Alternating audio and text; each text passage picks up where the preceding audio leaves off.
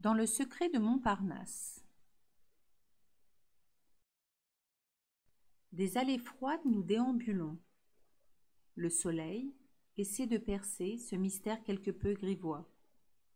Et le ciel déverse sa peine, comme à chaque anathème.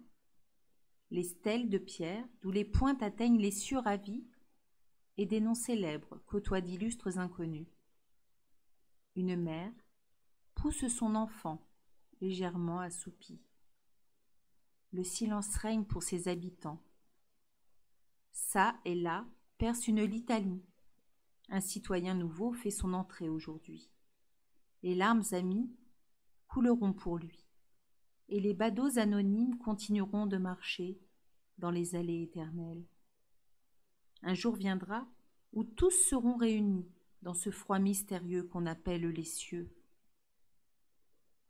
Mais en attendant, savourant un peu plus les lieux, peu pressés de faire leurs derniers adieux, ils marchent, bienveillants, sur les chemins verdoyants, écoutant le silence et savourant la vie.